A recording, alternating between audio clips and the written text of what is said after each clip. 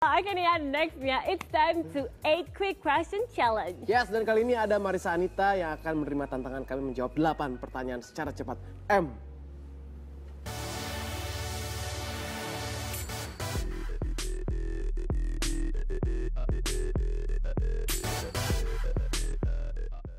Dulur, gak ada problem dengan wajah.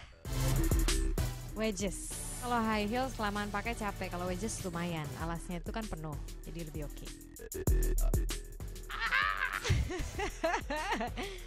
wanita cantik. Karena wanita cantik itu bisa seksi juga. Dokter kesehatan karena eh, penting menjaga kesehatan. Kalau misalnya kita sehat, berarti nanti otomatis kita bisa cantik. Tradisional karena kalau misalnya masakan tradisional Indonesia khususnya itu berani bumbu dan top banget. Aduh, kamu nakal. Presenting. Karena kalau misalnya presenting dilihat orang main film juga bisa nanti ditawarin. Nonton film.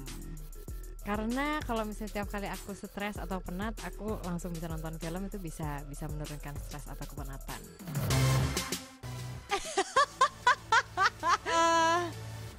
Aduh, keroncong. Karena klasik.